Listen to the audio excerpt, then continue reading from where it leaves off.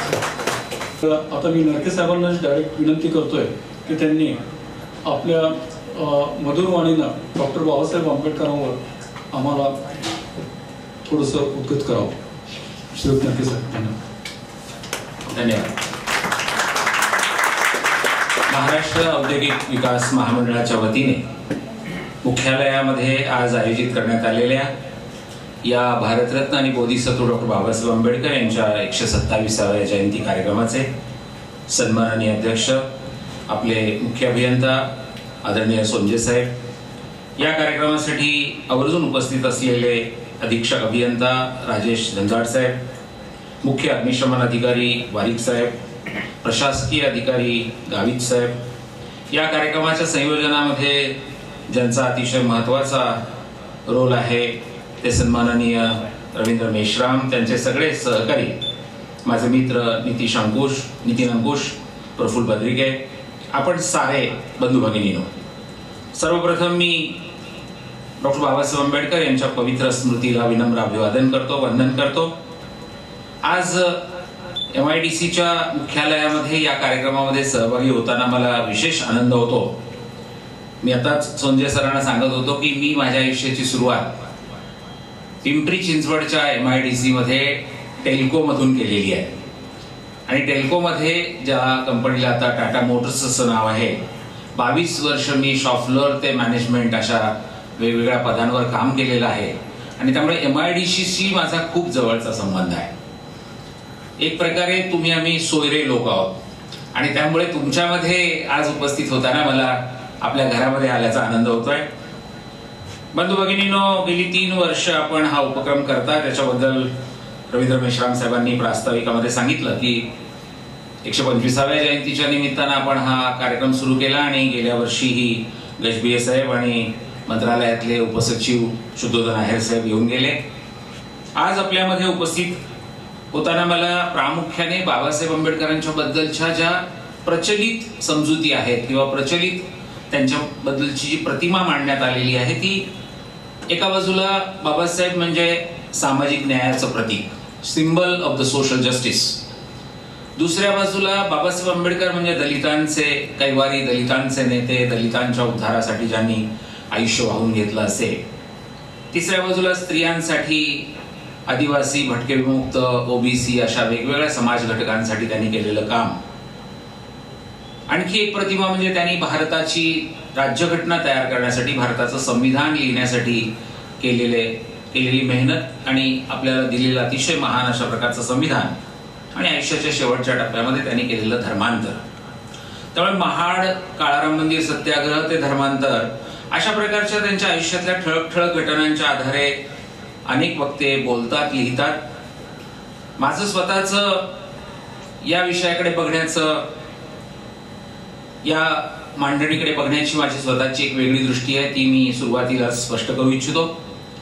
महाराष्ट्र शासनाच्या वतीने बाबासाहेबांचे जे लेखन आणि भाषणाचे बावीस खंड प्रसिद्ध केलेले आहेत ते खंड राज्य शासनाच्या उच्च आणि तंत्र शिक्षण विभागाने प्रसिद्ध केलेले आहेत आणि त्याच्यामध्ये वसंत मून साहेब हे संपादक म्हणून काम पाहत होते अनेक वर्ष. त्यांच्या निवृत्तीनंतर ती जबाबदारी माझ्याकडे आली आणि टेल्कोमधून मला मंत्रालयामध्ये या कामासाठी त्यावेळेचे मुख्यमंत्री शरद पवार यांनी निमंत्रित केलं.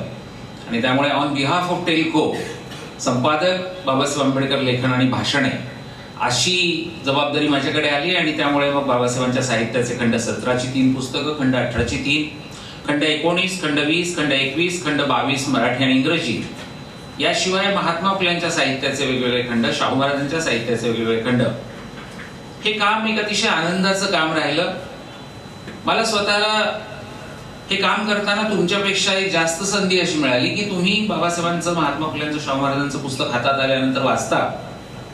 पण ते तुमच्या हातात देण्यापूर्वी संपादकीय प्रक्रियेचा घटक म्हणून मी किमान पाच वेळा वाचलेलं असतं. आणि त्यामुळे मी जेव्हा बाबासाहेब आंबेडकर म्हणतात असं उद्धृत करीन तेव्हा ते कोणत्या तारखेला म्हणाले होते कोणत्या संदर्भात म्हणाले होते कोणत्या पुस्तकात आणि कोणत्या पान नंबरवर ते आहे हे सांगायची मी जबाबदारी स्वीकारतो.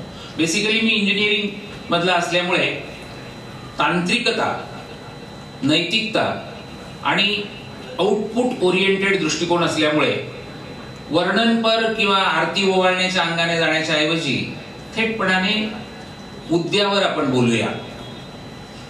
अलीकडेच जागतिक कीर्तीचे इतिहासकार डॉक्टर रामचंद्र गुहा यांचं makers of the modern India हे पुस्तक प्रसिद्ध झाले आधुनिक भारताचे निर्माते. या पुस्तकामध्ये त्यांनी बाबासाहेब आंबेडकरांचा उल्लेख आधुनिक भारताचे निर्माते म्हणून केला आहे कोणत्या अँगलनी बाबासाहेब आंबेडकर डॉक्टर रामचंद्र गुहांसारख्या जागतिक कीर्तीच्या इतिहासकाराला भारताचे निर्माते वाटतात? ते आपण जर शोधलं तर त्या पुस्तकामध्ये डॉक्टर गुहांनी स्पष्ट केलंय की बाबासाहेब आंबेडकरांची प्रतिमा खूप सीमित आतापर्यंत आपल्यासमोर मांडण्यात आली आहे. खरं तर खूप मोठं अफाट अशा प्रकारचं हे व्यक्तिमत्व होतं. आज दोन हजार अठरा सालात आपण बोलतोय म्हणून आपण बरोबर शंभर वर्षापूर्वीच्या त्यांच्या एका पुस्तकाने सुरुवात करूया. एकोणीशे अठरा साली बाबासाहेबांनी small holding in India and their remedies नावाचं पुस्तक लिहिलं.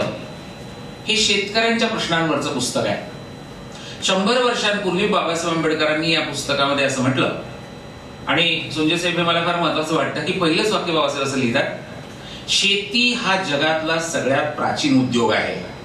पण शेतीला अजूनही उद्योगाचा दर्जा नाही आहे आणि म्हणून बाबासाहेब असं म्हणतात की शेतीचा जर विकास करायचा असेल तर या प्राचीन उद्योगाला इंडस्ट्रीयल स्टेटस द्यावं लागेल औद्योगिक दर्जा द्यावा लागेल.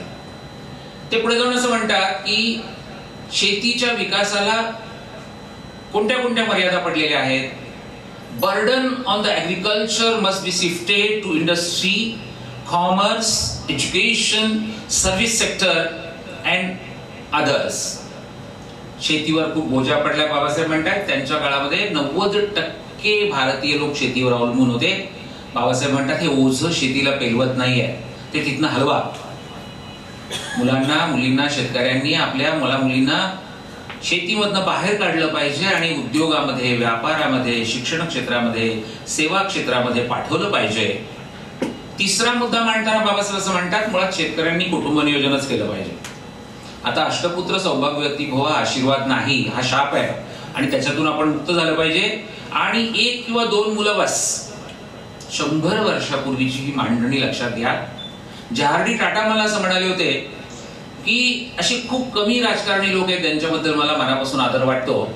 आणि त्याच्यामध्ये त्यांनी बाबासाहेबांचा अग्रक्रमाने उल्लेख केला होता तेव्हा ते असं म्हणाले होते doctor B R Ambedkar was man with mission and man with courage धाडस असलेला आणि एक ध्येयवाद असलेला एक कामाचं मिशन असलेला असा महापुरुष होता. कोणतं मिशन होतं बाबासाहेबांच्या समोर? मित्रांनो एकोणीशे अठरा साली बाबासाहेब जेव्हा शेतीच्या प्रश्नाकडे बघताना असं सांगतात की शेतीचे तुकडे का पडतायत? तर कुटुंब नियोजन शेतकरी करत नाही त्यामुळे जेवढी मुलं जेवढ्या मुली तेवढे तुकडे जास्त. एक दिवस असा येईल की नांगर घालायला सुद्धा जमिनीचा तुकडा शिल्लक नसेल. आणि म्हणून हे तुकडे जोडणं हा एक मार्ग आहे. पण त्याहीपेक्षा खरा मार्ग आहे तो शेतीतून बाहेर पडणं. आणि सगळ्यात महत्वाचं म्हणजे जी शेती आहे तिला उद्योगाचा दर्जा देऊन तिच्यासाठी इरिगेशन सोय पाण्याची सोय तुम्हाला सिंचनाची सोय twenty four by three sixty five करायला हवी. उद्योगाला जसं आपल्याला तीनशे पासष्ट दिवस आणि चोवीस तास वीज आणि पाणी द्यावं लागतं तसं बाबासाहेब म्हणाले शेती हा उद्योग आहे आणि सगळ्यात प्राचीन उद्योग आहे. आणि त्याला पाणी चोवीस तास आणि तीनशे पासष्ट दिवस दिलं पाहिजे. त्याच्या पुढे जाऊन ते असं म्हणाले की शेतकऱ्यांनी आधुनिक पद्धतीने शेती करण्यासाठी जगातल्या नव्या तंत्रज्ञानाचा अभ्यास करण्यासाठी आपल्या मुलामुलींना परदेशात पाठवलं पाहिजे. तिथनं तिथली बियाणं तिथली अवजारं तिथल्या नव्या पद्धती तंत्र टेक्निक्स हे सारं शिकून आलं पाहिजे आणि आपल्याकडची शेती बदलली पाहिजे. पण ते करत असताना ते असं म्हणाले नुसती शेती कधीच परवडत नाही. शेती परवडायची असेल तर त्याला तुम्हाला जोडधंदे द्यायला लागतील.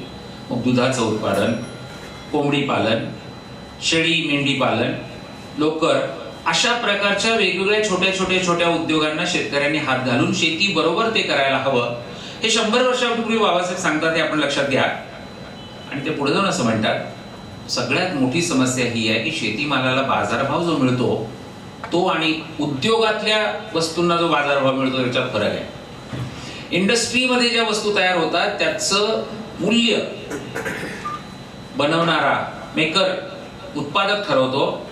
शेतीच्या बाबतीत मात्र उत्पादन खर्च अधिक पंचवीस टक्के नफा असं सूत्र ना देशाने स्वीकारलंय ना सरकारने स्वीकारलंय ना समाजाने स्वीकारलंय. आणि त्यामुळे शेती परवडत नाही. त्याचं मुख्य कारण हे आहे की शेतीकडे बघण्याचा आपला दृष्टिकोनच मुळे सदोष आहे.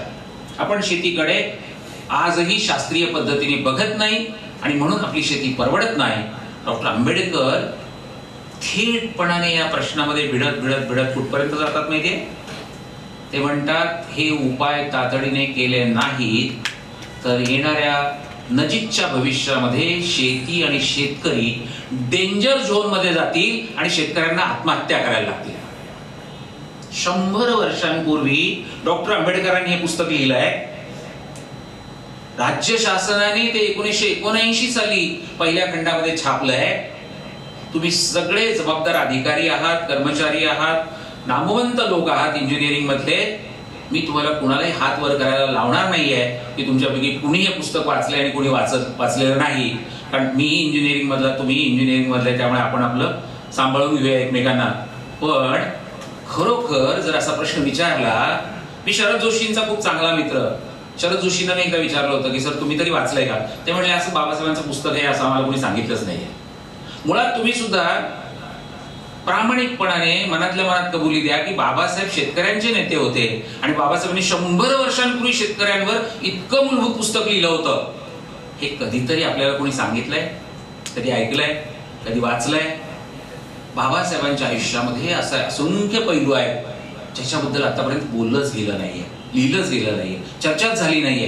पुन्हा पुन्हा दलितांचे नेते दलितांचे नेते राज्यघटना आणि बौद्ध धर्म ही महत्वाचीच कामं आहेत. मी कृपा करून असा गैरसमज करून घेऊ नका की ज्यांचा उल्लेख मी करत नाही ती काहीतरी दुय्यम किंवा कमी महत्वाची ती महत्वाचीच कामं आहेत.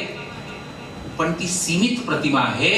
बाबासाहेब त्याच्या फार पलीकडे आहे आणि म्हणून मग आपण शेतकऱ्यांचे नेते बाबासाहेब असं जेव्हा बघायला लागतो तेव्हा पहिला मुद्दा संजय सर लक्षात येतो डॉक्टर आंबेडकर एकोणीसशे सत्तावीस साली पहिल्यांदा आमदार झाले.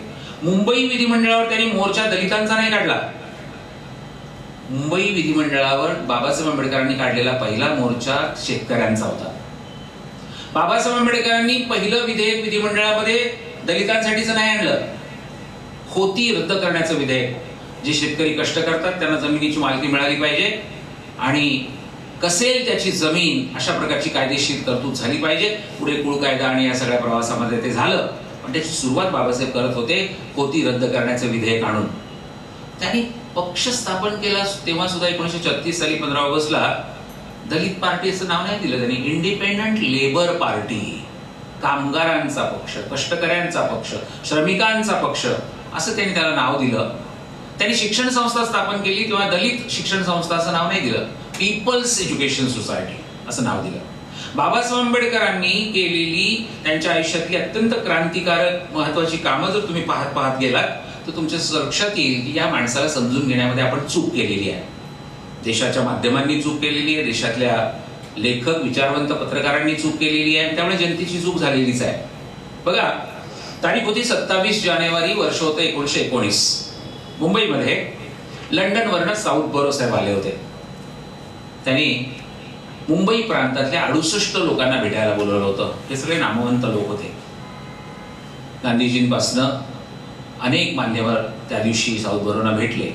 त्याच्यामध्ये सगळ्यात तरुण मुलगा सत्तावीस जानेवारी एकोणीसशे एकोणीसला त्यांना भेटला. त्याचं नाव डॉक्टर बी आर आंबेडकर. त्यांनी लेखी मेमोरंडम आपला सादर केला. तो आम्ही पहिल्या खंडामध्ये छापलेला आहे. सत्तावीस जानेवारी एकोणीसशे एकोणीसला डॉक्टर आंबेडकरांनी साऊथ बरोना केलेली पहिली मागणी आहे. आय वॉन्ट ॲडल्ट फ्रँचाईज सर्व भारतीयांना मतदानाचा अधिकार मिळाला पाहिजे अशी माझी मागणी आहे. साऊथवर हजरले ते म्हणाले की as per my knowledge doctor Ambedkar you are the leader of depress classes schedule caste Babasaheb म्हणले चुकीची समजूत तुमची करून दिलेली. It is misconception basically I am Indian आणि म्हणून मी भारतीयांचा नेता आहे. मी दलितांचा नेता आहे. ही जी समजूत तुमची करून देण्यात आली ती चुकीची आहे. लक्षात ठेवा तुम्ही इंजिनिअरिंगमध्ये खूप चांगला अभ्यास केलेले लोक आहात. तुम्ही भारताचा स्वातंत्र्य चळवळीचा इतिहास शिकलेले आहात. भारतामध्ये एकोणीसशे एकोणीस किंवा त्याच्या आधी कुणीही नेत्याने किंवा कोणत्याही राजकीय पक्षाने सर्वांना मतदानाचा अधिकार मिळाला पाहिजे अशी मागणी केलेली नाही. ती पहिली मागणी करणारा महापुरुष बाबासाहेब आंबेडकर आणि कलम तीनशे सव्वीस प्रमाणे सव्वीस जानेवारी पन्नासला मतदानाचा अधिकार सर्व भारतीयांना देणारा महापुरुष बाबासाहेब आंबेडकर. मतदानाचा अधिकार बाबासाहेब आंबेडकर असं म्हणतात. जमिनीचा जसा सातबाराचा उतारा असतो म्हणजे मालकी हक्काची नोंद असते सातबारा म्हणजे बाबासाहेब म्हणतात मतदार यादीत नाव म्हणजे देशाच्या सातबाऱ्यावर नाव. आणि म्हणून ऐंशी कोटी लोक आज मतदार आहेत. याचा अर्थ ते ऐंशी कोटी भारतीय नागरिक देशाचे मालक आहेत. आणि त्या मालकी हक्काचा दस्तावेज म्हणजे निवडणूक मतदार यादी. पण मित्रांनो आजही आपण त्याच्याकडे बघत असताना कलम तीनशे सव्वीस मतदानाचा अधिकार सत्तावीस जानेवारी एकोणीसशे एकोणीस ते एकोणीसशे पन्नासचा प्रवास अशा पद्धतीने कधी चर्चा करत नाही आणि केली तरी त्यात बाबासाहेब आंबेडकर येतच नाही. माझं दुःख हे आहे की मी मूलत एक शिक्षक प्राध्यापक असल्यामुळे लेखक असल्यामुळे विद्यापीठांमध्ये शिकवतो त्यामुळे इतिहास माझा आवडता आहे. महात्मा गांधींबद्दल मला नितांत आदर आहे पंडित नेहरूंबद्दल आहे सुभाषचंद्र बोस किंवा लोकमान्य टिळक या सगळ्याच नेत्यांबद्दल मनापासून आदर आहे. पण आपण दुजाभाव असा करतो डिस्क्रिमिनेशन पक्षपात किंवा भेदभाव असा करतो की महात्मा गांधी देशाचे नेते टिळक देशाचे नेते नेहरू देशाचे नेते डॉक्टर आंबेडकर दलितांचे नेते. म्हणजे आपण ठरवून टाकलेले आहे इयत्ता काय आहे हे फक्त दलितांपुरते आहे. मला सांगा जर का डॉक्टर आंबेडकरांनी एकोणीसशे एकोणीस साली दलितांना मतदानाचा अधिकार मिळाला पाहिजे असं म्हटलं असतं तर मग ते दलितांचे नेते असं म्हणणं ठीक झालं असतं. पण ते असं सांगतायत की मला साऱ्या भारतीयांना मतदानाचा अधिकार हवा आहे. तुम्ही साऊथ बरो कमिशनच्या समोरची बाबासाहेबांची जी साक्ष आहे ती आम्ही पहिल्या खंडामध्ये छापलेली आहे मुद्दाम काढून पहा. मी आता बाबासाहेब आंबेडकरांचं मुंबई विधिमंडळामध्ये एक भाषण तुम्हाला वाचून दाखवतो.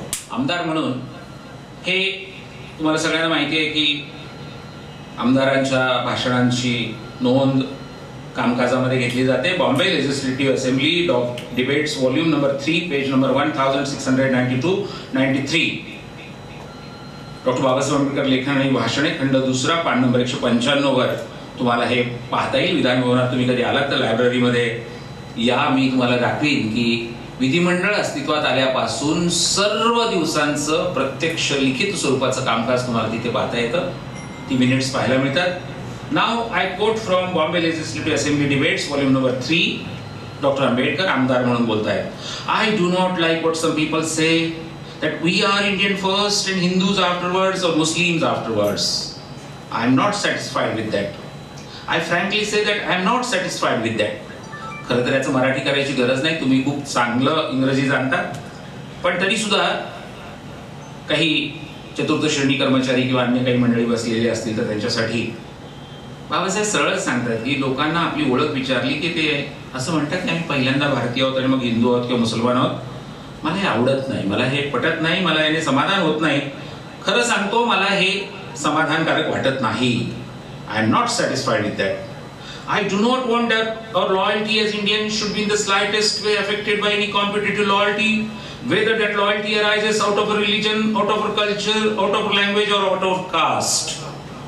आपली ओळख कोणत्याही कारणाने विभाजित करणं खंडित करणं तिचे तुकडे करणं तिला समांतर ओळख बनवणं मला मान्य नाही आणि म्हणून आपली भारतीय म्हणून असलेली ओळख आपण धर्माच्या नावाने संस्कृतीच्या नावाने भाषेच्या नावाने किंवा जातीच्या नावाने तिचे तुकडे करतो ती खंडित करतो हे मला आवडत नाही. I want all people to Indian first Indian last nothing else but Indians only मला सर्व लोकांनी आपली ओळख आम्ही पहिल्यांदा भारतीय आहोत नंतर भारतीय आहोत शेवटी भारतीय आहोत आणि फक्त भारतीय आहोत अशी सांगायला हवी आहे असं बाबासाहेब आंबेडकर विधिमंडळामध्ये चार एप्रिल एकोणीसशे अडतीस ला बोललेले आहेत. ऐंशी वर्षापूर्वीची गोष्ट आहे. बाबासाहेबांचं हे विधिमंडळातलं भाषण आहे. इथल्या मिनिट्स मधनं घेतलेलं आहे. मित्रांनो माझ्या असं लक्षात येतं की बाबासाहेब आंबेडकरांच्याकडे बघत असताना एक तर ओव्हर एस्टिमेशन तरी केलं जातं किंवा अंडर एस्टिमेट तरी त्यांना केलं जातं. दोन चुका होतात. मी स्वतः वस्तुनिष्ठ पद्धतीने जेव्हा इंजिनिअरिंगचं अचूक तत्व वापरून जेव्हा बाबासाहेबांकडे पाहतो तेव्हा माझ्या असं लक्षात येतं की एकोणीसशे अठ्ठावीस साली ओ एच बी स्टार्ट यांच्या अध्यक्षतेखाली कमिटी नेमली जाते. त्याच्यामध्ये डॉक्टर आंबेडकर हे एक सभासद असतात आमदार म्हणून. आणि ते त्या कमिटीला पहिल्यांदा असं लेखी देतात की या देशातल्या तीन समाज घटकांना घटनात्मक संरक्षण मिळालं पाहिजे. पहिला शेड्यूल कास्ट दुसरा शेड्यूल ट्राईब आणि तिसरा अदर बॅकवर्ड क्लासेस. आणि बाबासाहेब त्याच्यामध्ये असं म्हणतात पाणी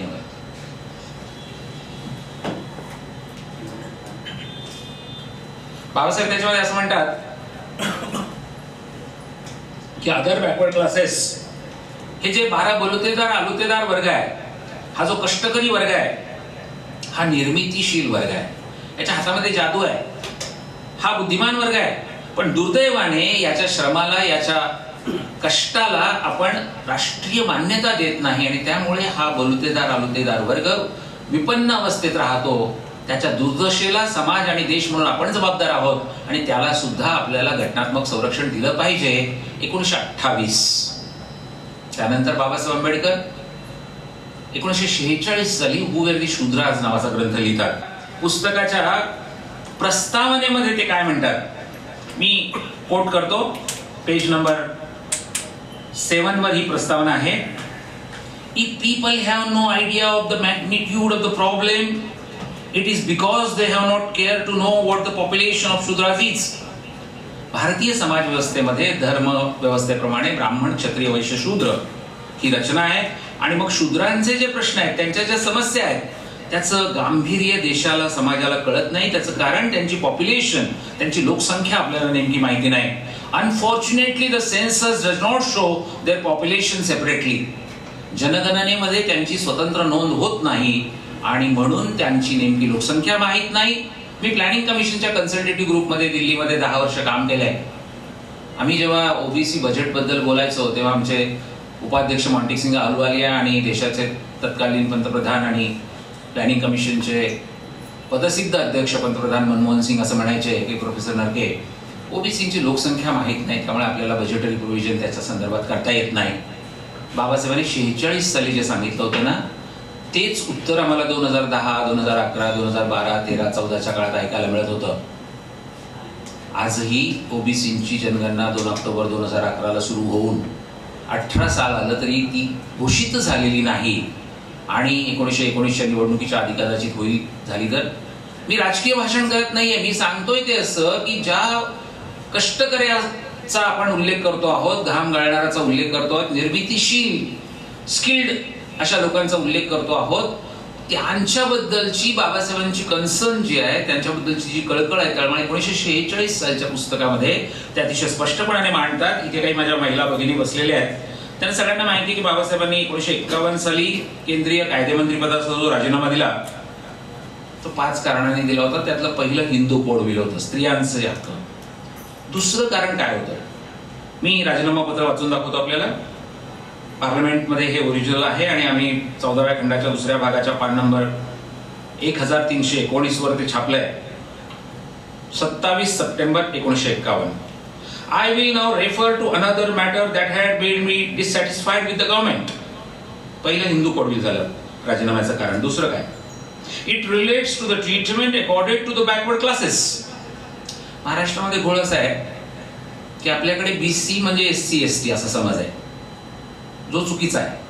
कर्नाटक आंध्र तमिळनाडू केरळमध्ये तुम्ही गेलात तर तिथे बी सी म्हणजे ओबीसी घटनेमध्ये तीन उल्लेख आहेत.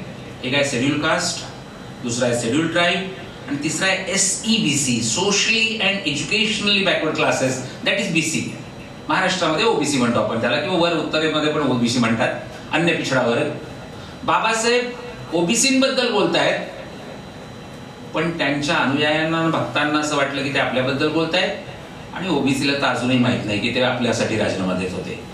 त्यांनी राजीनामा देऊन एवढी वर्ष झाली तरी किती माळ्यांना किती आग्र्यांना किती भांडाऱ्यांना किती कुंब्यांना किती वंजाऱ्यांना बाबासाहेबांनी आपल्यासाठी राजीनामा दिला होता हे माहिती असेल याच्याबद्दल मला शंका आहे. मी तुम्हाला सांगतो अशी शंका आहे असं जेव्हा म्हणतो तेव्हा मी हवेत बोलत नाही. मी आपल्याला नम्रपणाने सांगू इच्छितो की भारतातल्या एकोणतीस राज्य आणि सात केंद्रशासित प्रदेशांमध्ये फिरून अभ्यास केलेला बोललेला काम केलेला मी एक छोटासा शिक्षक आहे. आणि त्यामुळे मी जेव्हा भारत म्हणतोय तेव्हा I mean twenty nine states and seven union territories that is India Mumbai म्हणजे भारत नाही. महाराष्ट्र म्हणजे भारत नाही. मी असं पाहतोय की भारतात तीन हजार सातशे एक्केचाळीस ओबीसीच्या जाती जमाती मंडळ आयोगाने सांगितल्या. इथल्या किती लोकांना याची कल्पना आहे की बाबासाहेबांनी आमच्यासाठी राजीनामा दिला होता? मला शंका आहे. आणि मेश्राम सर त्याच्यासाठी मी आपण आंबेडकरवादी जबाबदार आहोत असं मानतो. त्याचं कारण आम्ही सुद्धा सांगितलंच नाही कधी आम्ही सुद्धा लोकांपर्यंत पोहोचवलंच नाही. शेतकऱ्यांचे नेते बाबासाहेब ओबीसीचे नेते बाबासाहेब या पद्धतीने आम्ही बोललोच नाही. आम्ही दलितांचे नेते असंच बोलत राहिलो. मी स्वतःकडे जबाबदारी घेतोय ती. मला असं वाटतं की बाबासाहेब आंबेडकर जेव्हा असं म्हणतायत की केंद्र सरकारने it relates to the treatment accorded to the backward classes I was very sorry that the constitution did not embody any safeguard for the backward classes. तीनशे चाळीसावं कलम तयार करणारे बाबासाहेब ओबीसींच्या पदरात जे पडलं त्याच्याबद्दल असमाधानी आहेत. आणि म्हणून ते म्हणतात की काहीच मिळालं नाही. हे घटनेचे शिल्पकार म्हणताय हे त्यांचे शब्द आहेत. It was left to be done by the executive government on the basis of the recommendation of a commission to be appointed by the president राष्ट्रपती एक आयोग नेमतील आणि तो आयोग सूचना करेल आणि मग सरकार पावलं उचलेल असं आपण घटनेच्या तीनशे चाळीसाव्या कलमात म्हटलं. More than year has elapse since we pass the constitution but the government has not even thought of appointing the commission today आजपर्यंत सरकारने असा आयोग नेमायचा विचार सुद्धा केला नाही. सव्वीस जानेवारी पन्नास ला घटना आली. एक्कावन्न सालच्या सप्टेंबरमध्ये बाबासाहेब पावणे दोन वर्षांनी लिहित आहेत वर्षापेक्षा जास्त काळ झाला असा आयोग नेमायचा विचार पण झाला नाही. पुढे काळेलकर आयोग आला त्याचा अहवाल फेटाळला गेला त्याच्यानंतर मंडल आयोग आला. तो अल्पांशाने स्वीकारला गेला. त्याला किती विरोध झाला काय झालं सगळं आपल्याला माहिती आहे. मुद्दा आहे तो असा की बाबासाहेब आंबेडकर ज्या काळामध्ये ओबीसीच्या हक्कासाठी बोलतायत लिहितायत काम करतायत ते जर पाहिलं आणि त्यातलं गांभीर्य जर पाहिलं त्या विषयाकडे बघण्याचा त्यांचा दृष्टिकोन जर पाहिला तर मला स्वतःला असं वाटतं की डॉक्टर आंबेडकरांना समजून घेण्यामध्ये आपण चूक केली आहे. बघा पंचवीस ऑक्टोबर एकोणीशे त्रेचाळीसचं त्यांचं ओरिसाच्या कटक परिषदेत केलेलं भाषण आहे. The poverty of India to my mind is due to its being made dependent only upon agriculture पण शेतीवर फक्त अवलंबून आहोत आणि म्हणून आपण गरीब आहोत म्हणून आपण दरिद्री आहोत असं मला वाटतं असं ते अतिशय स्पष्टपणे म्हणतात. पुढे ते म्हणतात Nothing can open possibilities of making agriculture in India profitable except a serious drive in favor of industrialization. For it is industrialization alone which can do, drain away the excess of population which is exerting such enormous pressure on land into gainful occupation other than agriculture. शेतीपेक्षा जास्त नफा देणारे अशा प्रकारचे उद्योग सुरू करावे लागतील आणि त्याच्यामध्ये औद्योगिकीकरणाशिवाय अन्य कुठलाही आपल्यासमोर पर्याय असं मला वाटत नाही. इतकं स्वच्छ चित्र बाबासाहेबांच्या समोर आहे. या आंबेडकरांचा उल्लेख विकास पुरुष आंबेडकर असा कधीच होत नाही. मग अशी बोलताना प्रास्ताविकामध्ये आदरणीय रवींद्र मेश्राम साहेबांनी सांगितलं की त्यांनी तीन वर्षापूर्वी दोन वर्षापूर्वी जेव्हा एकशे पंचवीसावी जयंती केली तेव्हा बाबासाहेबांची विकासाबद्दलची दृष्टी वीज पाणी याच्याबद्दलची दृष्टी याच्यावर चर्चा केली होती. आपणही काही लोकांनी त्याच्यात भाग घेतला होता. मला फार चांगली सुरुवात वाटते ही. मी तुमचं मनापासून अभिनंदन करतो. आणि मगाचपासून तुम्ही सगळेजण अतिशय गंभीरपणाने ऐकता आहात वातावरण थोडंसं तापलंय असं मला वाटतंय. म्हणून जरा तुमच्याच कामाबद्दलचं कौतुक करण्यासाठी जरा तुम्ही आणि मिळून एकदा छानपैकी टाळ्या वाजवूया. या टाळ्या पुण्यापेक्षाही कमी आहेत.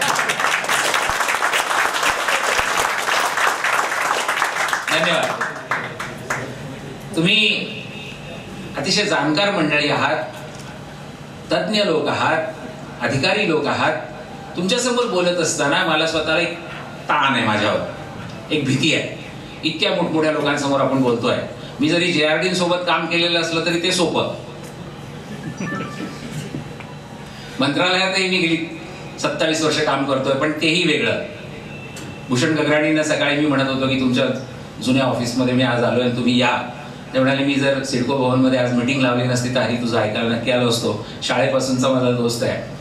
मी सांगत होतो ते असं की बाबासाहेब आंबेडकरांकडे बघत असताना आपण विकास पुरुष बाबासाहेब आंबेडकर या नजरेने कधी नाही बघितलं. आणि त्याचं कारण आहे की बाबासाहेब आंबेडकर जेव्हा वीस जुलै एकोणीसशे बेचाळीसला त्यांनी केंद्रीय कायदेमंत्री पद माफ करा कामगार मंत्रीपदाची शपथ घेतली त्या दिवशी त्यांनी एकूण दहा मंत्रालयांचा कार्यभार स्वीकारला होता.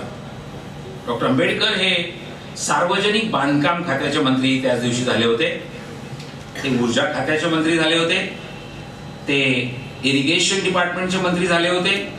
ते विमान वाहतूक खात्याचे मंत्री झाले होते. त्यांनी या काळामध्ये जी विकासाच्या संबंधीची भूमिका घेतली पाच वर्ष जे काम केलं त्याच्यातलं हे वाक्य मुद्दाम हायलाइट करू इच्छितो मी. बघा बाबासाहेब आंबेडकर किती स्वच्छ त्या बाबतीमध्ये. ते म्हणतात we want development India want development what is development तुम्ही ऐकलं क्लिपमध्ये त्यांचं भाषण? बोलणं हे अतिशय स्वच्छ तेजस्वी धारदार असायचं स्पष्ट असायचं. काय विकास म्हणजे काय? पॉज घेऊन बाबासाहेब विचारतात. आणि मग पुढे म्हणतात development is nothing but bijli sadak pani. एकोणीसशे त्रेचाळीस सालचं भाषण आहे. विकास म्हणजे बिजली सडक पाणी. मला सांगा दोन हजार अठरा साली निवडणुकीच्या भाषणामध्ये कुठल्या तरी पक्षाचा कुठला तरी नेता याच्यापुढे गेलाय? सगळ्या निवडणुका सगळ्या पक्षांचे जाहीरनामे सगळ्यांची भाषणं काढून बघा. सारांश बिजली सडक पाणी. विकास विकास डेव्हलपमेंट डेव्हलपमेंट डेव्हलपमेंट. हे शासकीय कार्यालय आहे त्यामुळे मी राजकीय भाष्य करणार नाही. पण तरी सहज जाता जाता निरीक्षण नोंदवतो. काही लोकांचा log in I D development असतो. पासवर्ड मात्र भलताच काहीतरी असतो. मी त्याच्यावर बोलू इच्छित नाही पण आपल्या असं लक्षात येईल की डेव्हलपमेंट हा लॉग इन आय डी झाला. व्हॉट इज अवर पासवर्ड तुम्हाला पासवर्ड सांगायचाच नसतो. बरोबर आहे? पासवर्ड सांगायचाच नसतो. पण पासवर्ड हा तुमचा त्या लॉग इन आय डीशी काहीतरी संबंधित असायला हवा. हे असेलच याची खात्री नाही. काय म्हणताय डॉक्टर आंबेडकर? त्यांनी लिहिलेलं चार खंडामध्ये संजय साहेब आपण आता प्रसिद्ध करतो आहोत. विकास पुरुष doctor Babasaheb Ambedkar. The broadening of the electrical industry and the development of hydro electric power are inexcusably connected with development of industries and food production अन्नधान्याचं उत्पादन आणि औद्योगिक प्रगती याच्यासाठी आपल्याला हायड्रो इलेक्ट्रिक पॉवरची पाण्यावर जल विद्युत निर्मितीची कशी गरज आहे? इलेक्ट्रिकल इंडस्ट्री वाढवण्याची कशी गरज आहे? त्याच्याबद्दल ते म्हणतात the expansion of irrigation the conservation of soil and the control of floods are directly connected with the food supply of the country and the general containment prosperity of the people of India आणि मग पुढे ते सांगतायत की दारिद्र्यातनं जर सुटायचं आहे ना औद्योगिकीकरण औद्योगिकीकरण आणि औद्योगिकीकरण. मला स्वतःला डॉक्टर आंबेडकरांची ही जी ध्येयवाद जो आहे त्यांचा जी दूरदृष्टी आहे अगदी थोडक्यात स्पेल करायची झाली तर कमी शब्दांमध्ये. तुम्हाला सगळ्यांना माहिती आहे मी फक्त उल्लेख करतो आणि पुढे जातो आढावा घेण्यासाठी की पहिली भारतातली पंधरा धरणं बांधण्याचं काम बाबासाहेबांच्या कार्यकाळामध्ये सुरू झालं. महानदी दामोदर नदी सोन नदी कोशी नदी. संजय सर त्या दिवशी बाबासाहेबांनी दामोदर प्रकल्पाचं पायाभरणी करताना असं म्हटलं की एक फक्त ब्रह्मपुत्रा नदी भारतातली अशी आहे की जी वीस हजार टीएमसी पाणी दरवर्षी वाहून नेते. आणि बाबासाहेब असं म्हणले यातलं एक हजार टीएमसी जरी आपण अडवलं ना अख्ख्या भारताचा दुष्काळ संपेल म्हणजे वीस हजार टीएमसी मधलं फक्त एक हजार टीएमसी पुरेसा आहे भारतासाठी. पण त्याच्यासाठी पाहिजे पॉलिटिकल विल पॉवर राजकीय इच्छाशक्ती. आणि त्यामुळे पुन्हा माझी अडचण अशी आहे की सरकारी कार्यालयात बोलत असल्यामुळे राजकीय भाष्य करायचं नाही. खरंच आम्हाला दुष्काळ हटवायचा आहे का? खरंच आम्हाला बेरोजगारी नष्ट करायची आहे का? खरंच आम्हाला प्रश्न सोडवायचे आहेत का? मी भाष्य करणार नाही मी फक्त एवढंच म्हणेन की माझा एक इंग्रज पत्रकार मित्र असं म्हणतो भारताला गरीब ठेवायला जास्त खर्च करावा लागतो. भारताला श्रीमंत करणं फार सोपं आहे. सवाल आहे भारताला गरीब ठेवण्यासाठी आपल्याला काय काय करायला हवं? अतिशय बुद्धिमान लोक आहेत आपल्याकडे अत्यंत कर्तबगार लोक आहेत. लक्षात ठेवा अजिंठा वेरूळ निर्माण करणारे ताजमहाल बांधणारे भाकरा नांगल उभारणारे आणि कारखान्यांच्या बाबतीत तर टाटा आणि बाकीच्यांची उदाहरणं मी देणारच नाही कारण तुम्ही सगळे प्रत्यक्ष पाहताच आहात. मी मगाशी म्हणालो ते परत एकदा सांगतो मी शॉप फ्लोअरवरनं बेसिकली सोंजे सर मी सी टी पासून सुरुवात केली आणि मी वेल्डर कम गॅस कटर म्हणून दररोज तीनशे तीनशे गाड्यांचं वेल्डिंग करत मग बी ए गोल्ड मेडल मग एम ए गोल्ड मेडल मग एम फिल गोल्ड मेडल रात्रपाळी करून सलग दहा वर्ष रात्रपाळी टेम्पोमध्ये आणि विद्यापीठामध्ये पहिला. हे कौतुक म्हणून सांगत नाहीये. मी सांगतोय ते एवढ्यासाठी की मी इंजिनिअरिंगमध्ये आयुष्य आयुष्यातली बावीस वर्ष घालवलेला माणूस आहे. मी जेव्हा बाबासाहेबांचं हे पाहतो की काय भव्य स्वप्न आहे भारतातल्या मोठ्या नद्या जोडायच्या. कारण बिहारमध्ये उत्तर प्रदेशमध्ये जेव्हा दुष्काळ प्रचंड महापूर आलेला असतो तेव्हा महाराष्ट्र कर्नाटक गुजरात आंध्रमध्ये किंवा राजस्थानमध्ये दुष्काळ पडलेला असतो आणि म्हणून या मोठ्या नद्या जोडायच्या. एक हजार टीएमसी पाणी वेगवेगळ्या नद्यांमधलं साठवायचं आहे आणि दुष्काळ संपवायचा ते म्हणतात पाच प्रकारांसाठी पाणी लागतं. पहिलं पिण्यासाठी. दुसरं ते म्हणतात इरिगेशन शेतीसाठी. तिसरं इंडस्ट्री आणि इतर उपयोगांसाठी. चौथं ते म्हणतात रेल्वे सारखं मला वॉटरवे तयार करायचे. कॅनॉल नद्या आणि समुद्रामधनं प्रवास करण्यासाठी पाण्याचा वापर. त्यांनी वॉटरवे कसे तयार करता येतील आणि त्याच्यामधनं जास्तीत जास्त ट्रान्सपोर्टेशन कसं करता येईल याच्या संबंधीचं सुंदर असं ब्ल्यू प्रिंट तयार आहे आणि त्यामुळे बाबासाहेबांना वॉटरवेसाठी पाण्याची गरज वाटते आणि पाचवं ते म्हणतात यश. माणसाने एकदा आठवडाभर काम केलं की त्याला एक दोन दिवस मस्तपैकी चैन करता आली पाहिजे मौज मजा करता आली पाहिजे आराम करता आला पाहिजे. आणि म्हणून वॉटर पार्कची गरज आहे. स्विमिंग टँकची गरज आहे. मौज मजेसाठी पाण्याची गरज आहे. आणि हे पाच गोष्टींसाठी लागणारं पाणी बाबासाहेब आंबेडकर असं म्हणतात निसर्गाने भरपूर दिलंय. त्याचं नियोजन कसं करायचं? ही खरी आपली जबाबदारी आहे. म्हणून त्यांनी वापरलेला शब्द आहे India wants water resource literacy and energy literacy आता अलीकडे अलीकडे पाच दहा वर्ष दूरदर्शनवर ऊर्जा साक्षरता असा शब्द आपल्याला जाहिरातीत वापरला जायला लागला. हा बाबासाहेबांनी त्रेचाळीस साली वापरलेला शब्द आहे. Energy literacy and water literacy जलसाक्षरता मी दोन या क्षेत्रातल्या अधिकारी व्यक्तींची कोटेशन्स तुमच्यासमोर सादर करू इच्छितो. पहिले आहेत हे डॉक्टर भाभा. ते असं म्हणतात we had moved overnight from the root of antiquated ideas to the modern conception of waterways development and taken the first practical step towards a comprehensive planning of resources development in Damodar Valley. Gentlemen, I attach particular importance to the first conference on the Damodar because the torch lighted here for the first time in India has been since passed on the Mahanadi, the Koshi Nadi, and other rivers, valleys. आणि पुढे ते म्हणतात I feel sure you will all agree that we owe a डेफ्ट of आपण देणं लागतो किंवा आपण कबूल करायला हवं काय gratitude to all those who sponsored and piloted this first conference on the Damodar, particularly the minister, doctor B R Ambedkar. Doctor आंबेडकरांनी याच्यामध्ये जे अत्यंत महत्वाचं योगदान दिलं त्याचं कौतुक भाबांसारखा शास्त्रज्ञ करतोय. आता भाबा काही राजकीय नेते नाहीत. माझ्या गळा तुझ्या गळा अशा पद्धतीची निवडणूक भाषण करणारे पण नाही आहेत म्हणून मी भाबांचा पोट तुमच्यासमोर ठेवला. आता मी अमेरिकन शास्त्रज्ञ ज्यांनी भारतातल्या नद्यांवर ग्रंथ लिहिला. Rivers in India. या प्रोफेसर एस सी हर्ट यांच्या पुस्तकातला एक तुकडा आपल्याला वाचून दाखवतो. ते न्यू इंडियाज रिव्हर्स या ग्रंथामध्ये म्हणतात भारतातले इंजिनियर अतिशय हुशार आहेत. They could take account of the rain that falls and confirmation of the valley and how they might fit together but the other elements namely to get the will of the inhabitants in the valley to get the governments of Damodar, and not only flood control alone, make them accept a river valley authority, to administer the work of building the dams, and finally share the cost of development, where in the best sense a political question arises. For 30 months, the planning of the Damodar fell into the hands politicians like Dr. B.R. Ambedkar, the man who, in the political sense, decided that Damodar would be developed, was the Minister of Labor, Energy and Water Resources, Dr. B.R. Ambedkar.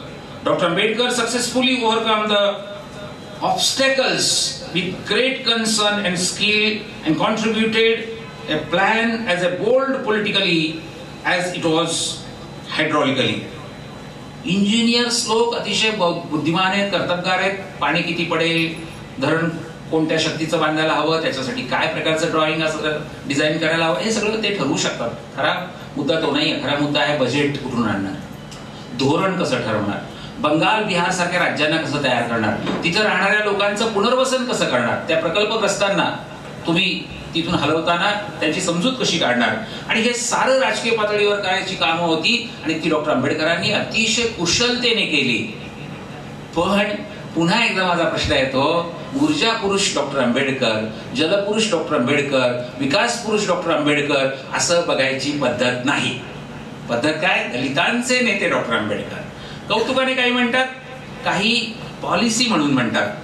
कोणाच्या मध्ये काय आहे मी त्यात जात नाही पण वातावरण मात्र हे आहे की बाबासाहेब आंबेडकर म्हणजे दलितांचे नेते.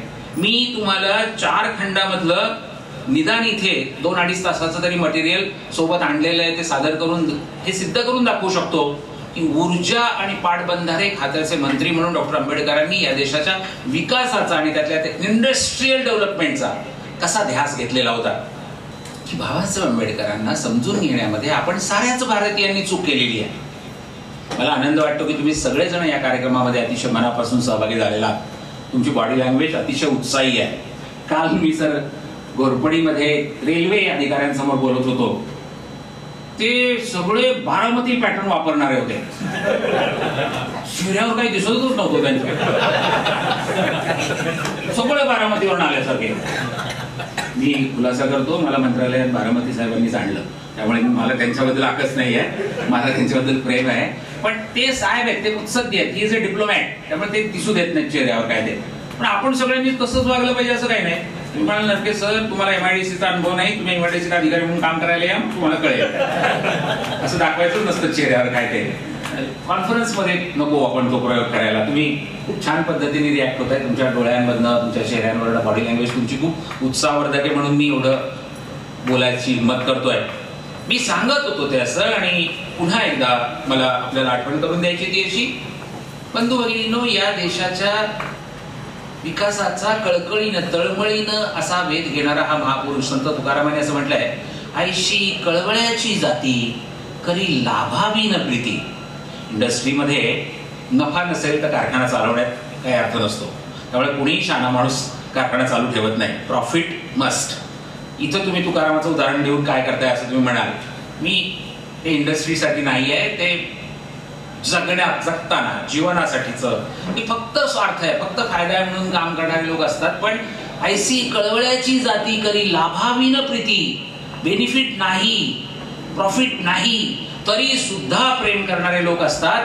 मला असं वाटतं की डॉक्टर आंबेडकरांकडे पाहिल्यानंतर महात्मा गांधींकडे पाहिल्यानंतर नेहरूंसारखे लोक या देशातले सुभाषचंद्र बोसांसारखे लोक न्यायमूर्ती रानडे कर्वे आगरकर साने गुरुजी अशी असंख्य माणसं मी बघतो.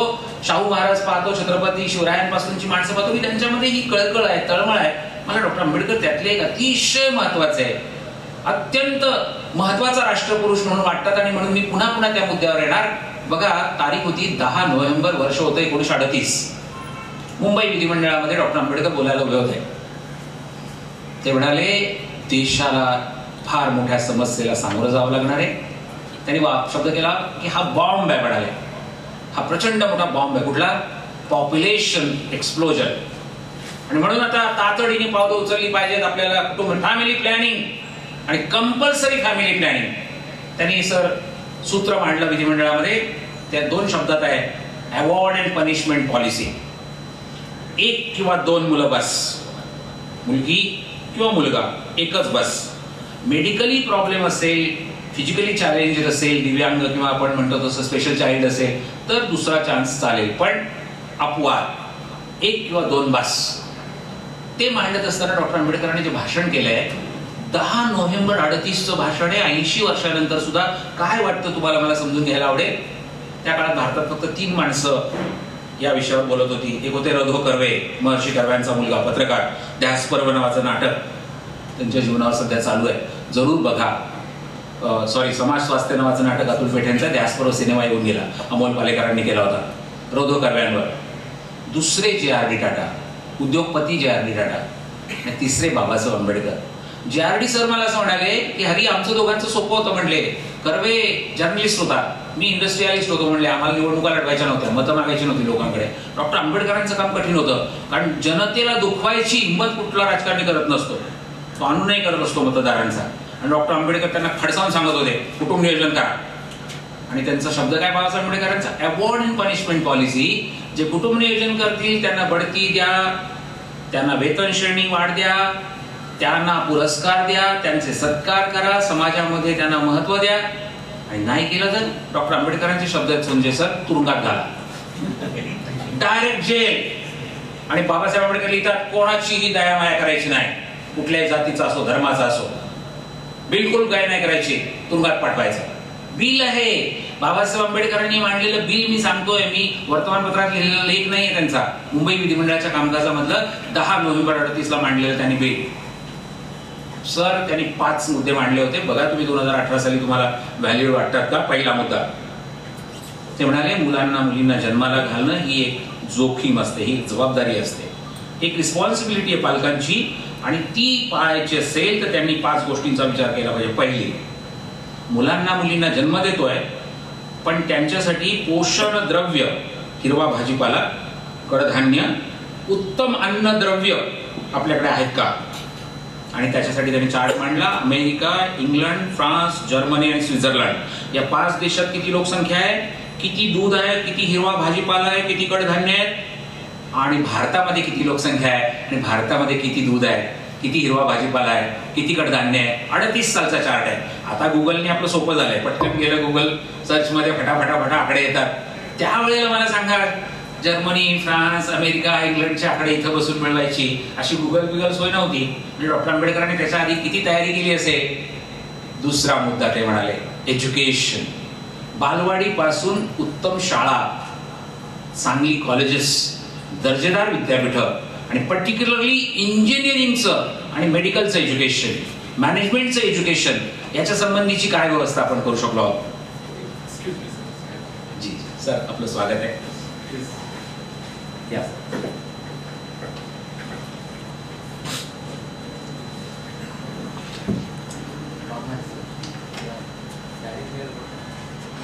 आदरणीय सचिव वाघमारे सर पोचलेले आहेत. आपण जरा जोरदार टाळ्या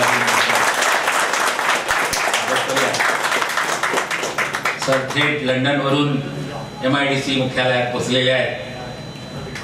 सर तुमच्या परवानगीने आम्ही सुरुवात केली आहे. मी असं सांगत होतो की दहा नोव्हेंबर एकोणीसशे अडतीसला बाबासाहेब आंबेडकर कुटुंब नियोजनावर बोलत असताना ते सांगतायत की उत्तम एज्युकेशन फॅसिलिटीज शाळा कॉलेजेस महाविद्यालय आणि विद्यापीठांची दर्जेदार इन्फ्रास्ट्रक्चरची काय व्यवस्था या पाच देशांमध्ये आहे आणि भारतात आहे. तिसरा मुद्दा तुमच्या माझ्याशी संबंधित आहे. एम्प्लॉयमेंट त्या पाच देशामध्ये किती रोजगार आहे आणि भारतामध्ये काय प्रकारचा रोजगार आहे आणि किती आहे? पुढचा मुद्दा बाबासाहेब म्हणाले सेल्टर राहण्यासाठी निवारा घर. तिथे काय परिस्थिती आणि इथे काय परिस्थिती आहे? अशा पद्धतीने एक एक एक एक मुद्दा मांडत बाबासाहेब गेले. मला सांगा की अन्नधान्य दूध हिरवा भाजीपाला इथून सुरुवात करताना पोषण द्रव्य एज्युकेशन आणि एज्युकेशन म्हणताना क्वालिटी एज्युकेशन त्याच्यानंतर एम्प्लॉयमेंट त्याच्यानंतर घरांची सोय आणि पाचवा मुद्दा मांडताना बाबासाहेब म्हणतात हेल्थ आरोग्य व्यवस्था. मी परवा भूतानमध्ये होतो. फार छोटा देश आहे पण भूतानसारख्या देशामध्ये आरोग्य व्यवस्था मोफत आहे आणि शिक्षण व्यवस्था पण मोफत आहे. आणि म्हणून हॅपी इंडेक्समध्ये भूतान जगात नंबर एकवर आहे. आपला शेजारी देश आहे तो. अतिशय सुंदर देश आहे. अतिशय स्वच्छ देश आहे. हॅपी इंडेक्समध्ये नंबर एकवर आहे. मला स्वतःला असं वाटलं की बाबासाहेब अडतीस साली भारताचा विकासाचा जो अजेंडा आपल्यासमोर मांडतायत तो किती व्यापक आहे. तुम्हाला असं वाटतं की हा दलितांपुरता मर्यादित आहे? हा दलितांचा नेता आहे? बाबासाहेब आंबेडकर हे बोलणारे हे लिहिणारे हे सांगणारे विधिमंडळाला यासाठी जागा करणारे? मित्रांनो बिल फेटाळलं गेलं. सगळ्या राजकीय पक्षांनी विरोध केला. बाबासाहेबांचं म्हणणं त्यांना पटलं नाही. मी तपशिलात जाणार नाही पण त्यावेळेचे आरोग्यमंत्री काय म्हणाले त्यावेळेचे महसूल मंत्री काय म्हणाले सगळं रेकॉर्डमध्ये आहे मी वाचलंय. मी त्याच्यात जात नाही. मी उडी मारून पुढे जातो. बाबासाहेबांनी हिंमत नाही सोडली. त्यांनी बारा डिसेंबर अडतीसला लगेच महिन्याभरामध्ये शिवाजी पार्कवर युथ कॉन्फरन्स आयोजित केली. आणि तरुणांसमोर तरुणींसमोर हजारांसमोर सांगितलं माझा संदेश आहे म्हणाले तुम्हाला. माझी विनंती आहे. कळकळीचं आवाहन आहे. एकावर थांबा. तुम्ही विचारता ना नेहमी डॉक्टर आंबेडकर संदेश द्या. घ्या संदेश. एकावर थांबा. मुलगी असो मुलगा असो एकावर थांबा. बाबासाहेब अतिशय मिश्किल होते. म्हणाले आमच्या वडिलांनी घोळ करून ठेवला. चौदा चौदा मुलं जन्माला घातली म्हणाले त्यांनी. आणि काय ताप झाला सांगायचं म्हणाले. एक दिवशी रेल्वेने जाताना घाई गडबडीत रेल्वेचा पास घरी विसरलो. नेमकं त्या दिवशी चर्चगेटला विटी त्या चर्चगेट स्टेशनवर त्या टी सीनी पकडलं. टाकलं म्हणजे तुरुंगात. त्या पोलीस कोठडीमध्ये चार आणि दंड भरायचा होता पण नव्हते. चोवीस तास कोठडीत राहावं लागलं. तरुणांनो तरुणींनो म्हणाले हात जोडून विनंती करतो माझ्या वडिलांनी केली ती चूक तुम्ही करू नका. एक कार्यकर्ता उठला संजय सर. तो म्हणाला डॉक्टर आंबेडकर तुमचा आम्ही ऐकतो म्हणून तुम्ही काही बोललेलं नाही चालायचं काय? तुम्ही तुमच्या वडिलांबद्दल असं निगेटिव्ह बोललेलं आपल्याला खपणार नाही. बाबासाहेब म्हटले बाबा बाप माझा आहे तुला काय प्रॉब्लेम आहे? तू तुझं तुझी काय अडचण आहे? तो म्हणला नाही तुमच्या वडिलांचं काही चुकलं असं मला वाटत नाही कारण तुमचा नंबर चौदावा आहे. त्यांनी जर का एकवर कुटुंब नियोजन केलं असतं आंबेडकर आम्हाला मिळाले नसते. आंबेडकर आम्हाला मिळाले नसते. बाबासाहेब आंबेडकर फारच उत्तम दर्जाचे वक्ते होते. त्यांनी शब्द उचलला आणि सटकन फिरवला. म्हणाले वेल माय फ्रेंड प्रत्येक घरात आंबेडकर जन्माला यावा यासाठी चौदा चौदा ट्राय करण्याची गरज नसते. पोषण दर महत्त्वाचा असतो जन्मदर नाही. तुम्ही किती जन्माला घातली याला काहीच महत्त्व नाही. कसं पालन पोषण केलं? कसं शिक्षण दिलं? कसं वाढवलं? किती शब्द म्हणून सुद्धा नेमके जन्मदर महत्त्वाचा नाही पोषण दर महत्त्वाचा आहे. अवॉर्ड अँड पनिशमेंट पॉलिसी दोन हजार अठरा साली सुद्धा हे असं असं कॅम्पेन आपण करावं. ऐंशी वर्षानंतर सुद्धा असे डॉक्टर आंबेडकर रिलेव्हंट आहेत. आणि म्हणून मला स्वतःला कुटुंब नियोजनाचा ध्यास घेतलेले आंबेडकर सदतीस सालच्या निवडणुकीत त्यांनी आश्वासन दिलं होतं आम्ही सत्तेत आलो तर कुटुंब नियोजनाचा कायदा करू. आणलं बिल फेटाळलं गेलं. बावन्न साली पुन्हा निवडणूक जाहीरनाम्यात त्यांनी आश्वासन दिलं आम्ही सत्तेत आलो तर कुटुंब नियोजनाचा कायदा करू. अवॉर्ड अँड पनिशमेंट जे कुटुंब नियोजन काढणार नाही त्याला तुरुंगात पाठवू. मला स्वतःला परत परत आपल्याला सांगायचं ते असं की हे आंबेडकर हे राष्ट्रनेते आंबेडकर आहेत. हे makers of the modern India घडवणारे डॉक्टर आंबेडकर आहेत. आणि म्हणून शेतकऱ्यांचे नेते आंबेडकर इथून आपण सुरुवात केली होती.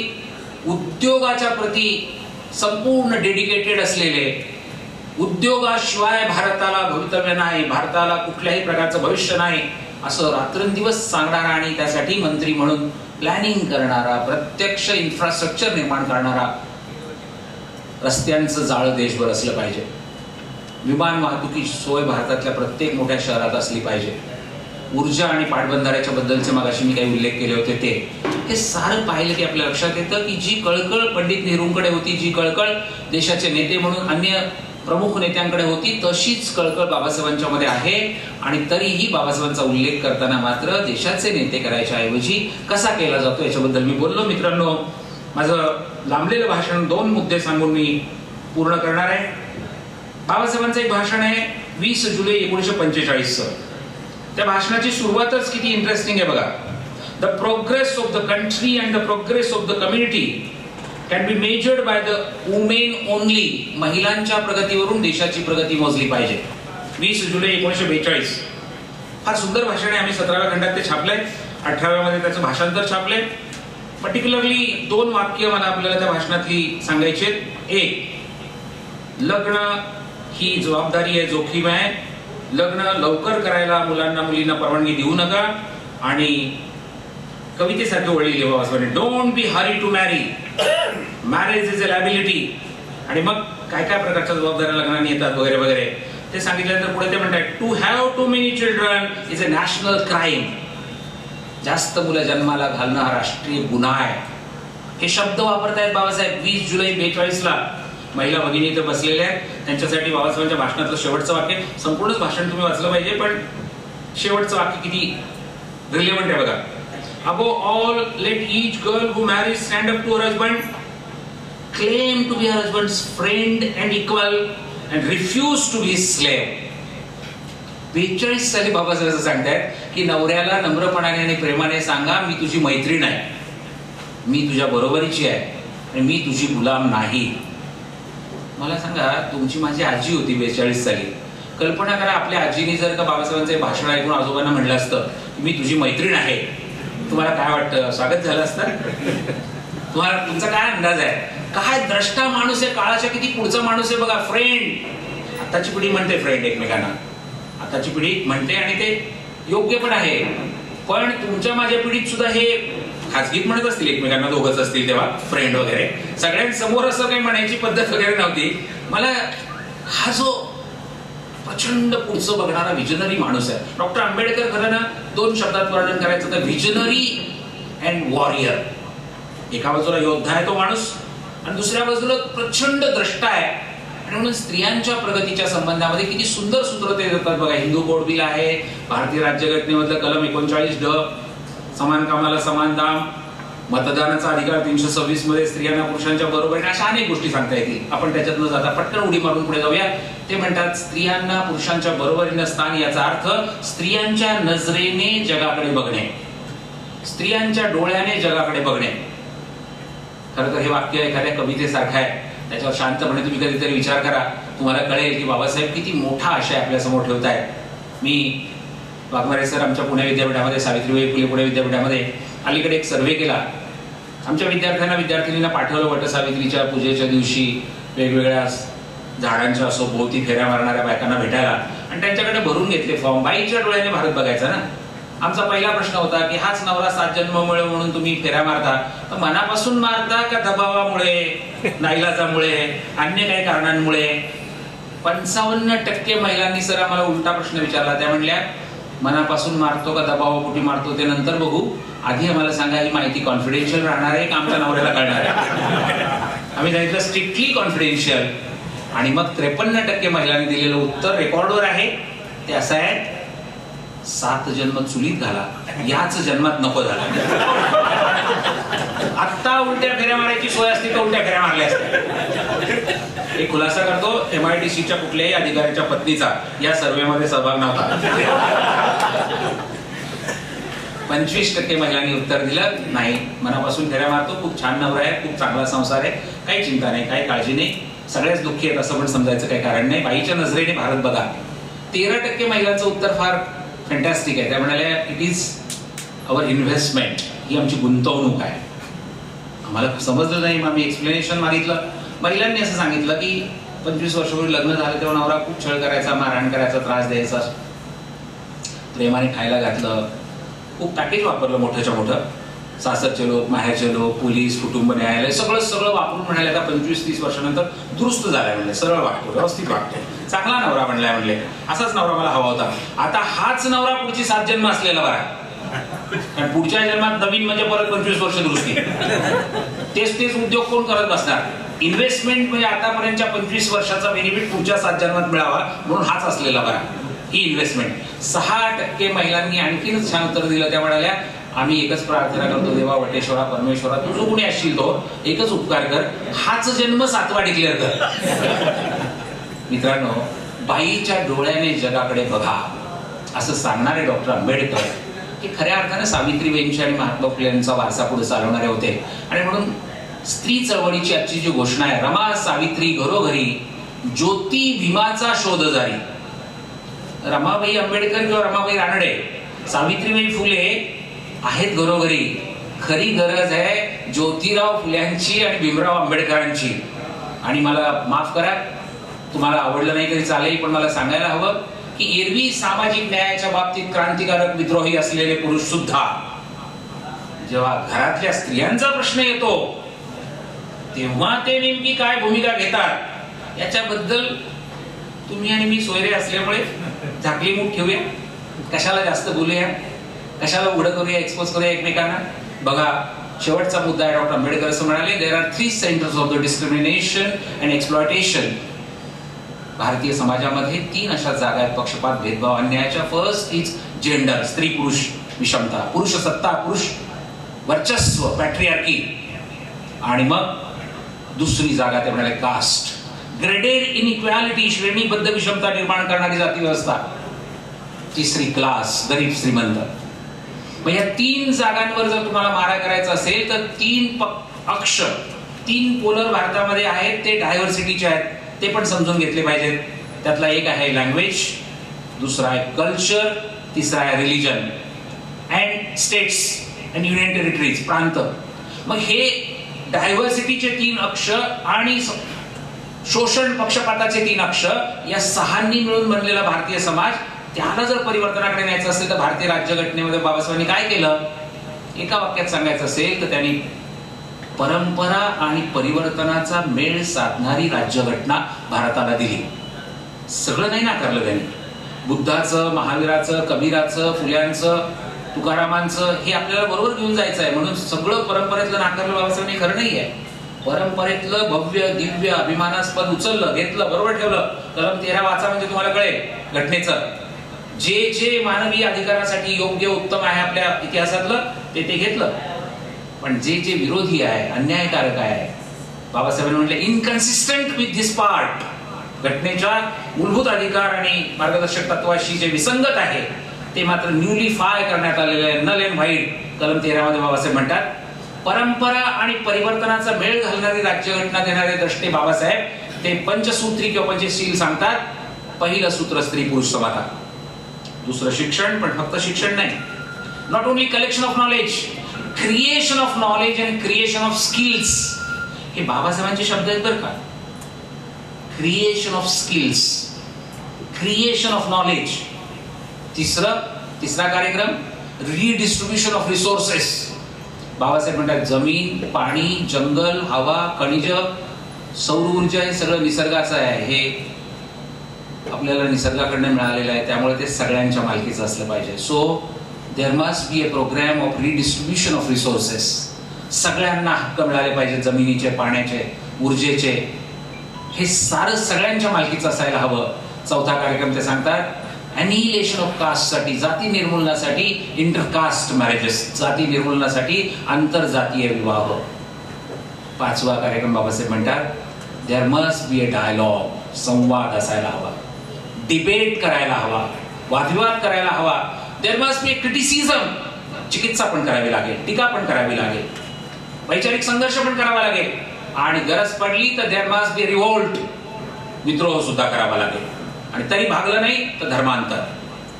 बाबासाहेब किती विचारपूर्वक हे पंचशील आपल्यासमोर मांडतायत. मला स्वतःला असं वाटतं की हे पंचशील मांडणारा नेता हा दलितांचा नेता असं म्हणणं फार सीमित ओळख त्यांची करणं आहे. हा खऱ्या अर्थानं भारतीयांचा नेता खऱ्या अर्थानं भारतीयांसाठी झटणारा माणूस. आणि म्हणून मला स्वतःला makers of the modern India असलेल्या डॉक्टर भीमराव रामजी आंबेडकरांना भारतरत्न आणि बोधिसत्व डॉक्टर आंबेडकरांना मनपूर्वक अभिवादन करताना त्यांना वंदन करताना त्यांना नमस्कार करताना अतिशय आनंद वाटतो. पुन्हा एकदा तुम्ही मला ही संधी दिल्याबद्दल तुमचे सगळ्यांचे आभार मानतो. आदरणीय वाघमारे सर आलेले आहेत. त्यांचं भाषण तुमच्याप्रमाणे मलाही ऐकायचं आहे. मित्र हो आपले सगळ्यांचे आभार. जय भीम जय भारत.